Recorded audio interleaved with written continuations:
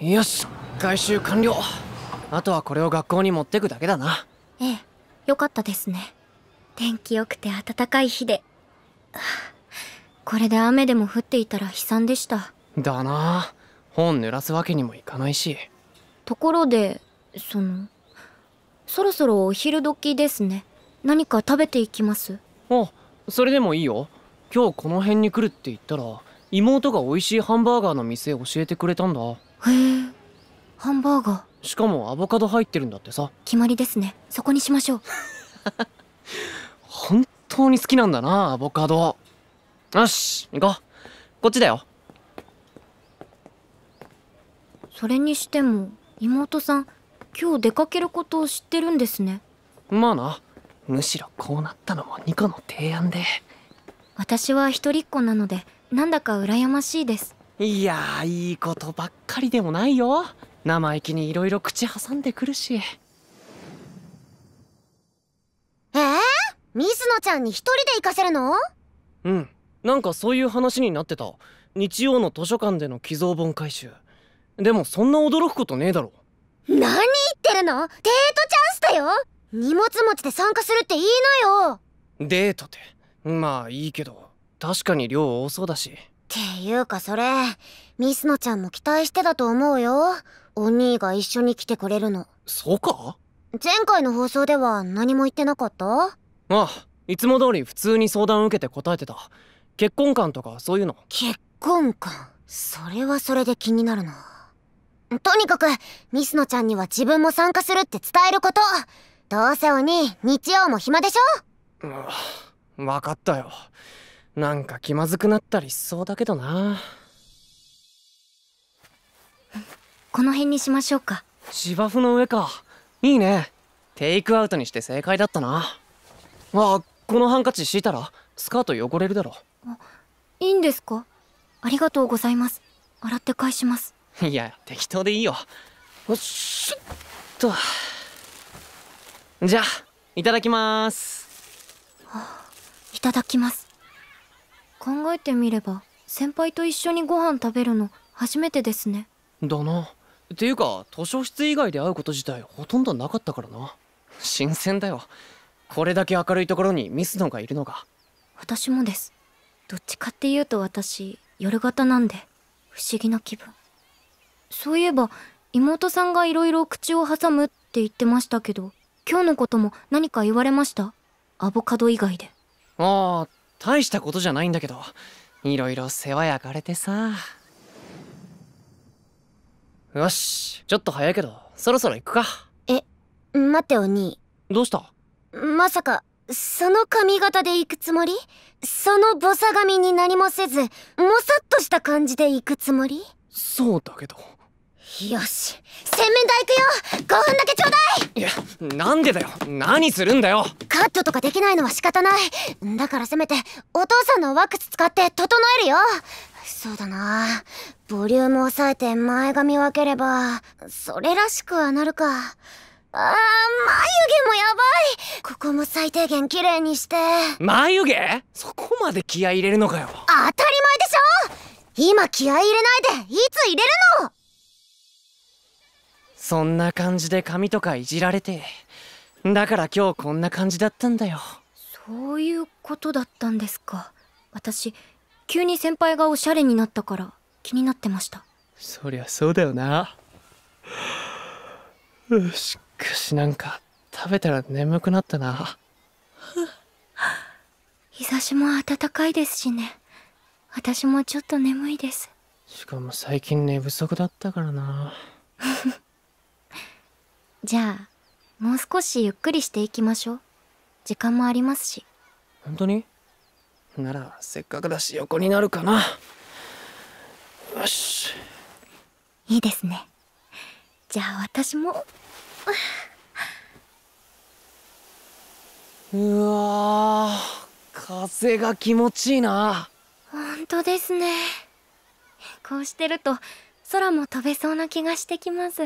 わかる開放的になるっていうか。あーやべ。本当に寝そちょっとくらいならいいですよ。うでも図書室に1時半着だろ。あんまりゆっくりするのはな。ああずっとこうしてたい。ああそうですね。そういえば妹が言ってたんだけどさ恋人になるのに必要なことみたいな話。恋人ですか？うん。でさっき言ってた結婚の件ミスノちゃんは何て言ってたの？どういう結婚観語ってたの？あーなんだっけな。人付き合いが苦手だからこの人と強く思った人と付き合いたい。できることならそのまま結婚できちゃうくらいがいいみたいなもちろん理想の話だろうけど。へえ意外と自分の恋には保守的なんだねミスノちゃん。だな。まあそういうやつもいるだろう。ん。でもちょっと危ない気もする。高校生でその感じは。う危ない？どの辺が？だってさお付き合いとか結婚とかって人と人の距離がぐっと近づくことじゃない？デートしたりイチャイチャしたりだけじゃなくてネガティブなことも見えてくるわけ普通に難しい人間関係なんだよ。けど今のミスノちゃんはそこに柔軟性がないよね。それが小獣人としてちょっと不安です。50とて？っていうかニコはなんでそんなに詳しいんだよ？既婚者かなんかかよ？だからうん。恋人になるなら憧れだけじゃなくて人間として噛み合わないとみたいなこと言ってて。そうですか？でも今こうしてミスノと横になってて。こういうのいいなって。どういうことですか？こんな風に一緒にうとうとできる相手は噛み合ってるよなって思ったんだ。マジですか？うん。寝ぼけてるでしょ。適当に言ってますよね寝ぼけてるけど適当じゃないよいろいろあるけど俺たちは相性いいと思う。へえ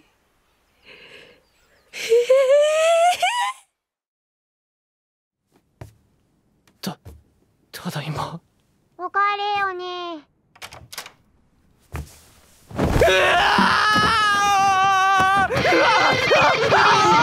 ちょちょっとどうしたの？お兄うるさいんだけど。やらかした完全にやらかした何があったの？ミスのにめちゃくちゃ恥ずかしいこと言っちまった。眠気でぼんやりしてすげえことを。うわ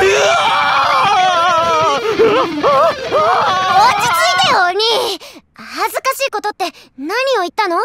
その芝生で寝っ転がりながら俺らは相性いいし人として噛み合ってる的な。すごい！それほぼ告白だよ！やるじゃんお兄ああ記憶消したい。なかったことにしたい。いやいやいやいいよ！ファインプレーだよきっと向こうも喜んでるよ。だとしてもよ。そんなつもりじゃないのに。いやーびっくりだ。まさかそこまで急展開するなんて。これは次の放送が楽しみだね。俺は不安だよ。ああ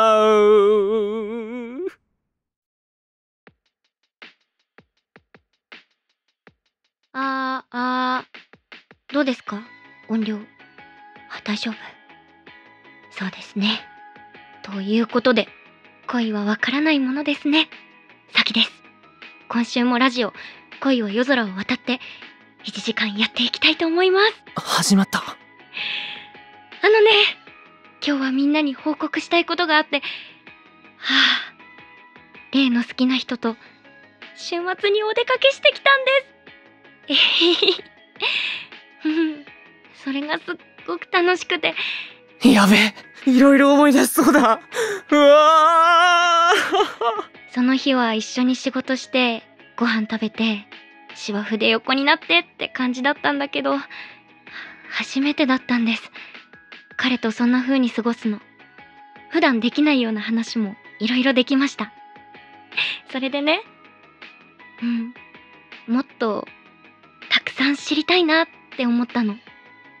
こうして夜中に好きな人の話をこっそりするのもいいけど、明るい太陽の下で相手のことを知るのも大切だなって。だから、決心しました。自分の殻を出てみようと思います。ちょっとずつでも前に進めたらって今思います。放送を始めて何ヶ月も経つけど、ようやくそう思うようになりました。から、よければ見守っていてくださいね。私と、私の恋がどうなっていくのか。はい、ということで、恋は夜空を渡って、今週もお付き合いありがとうございました。また来週もぜひ聞いてください。それじゃあね、おやすみなさい。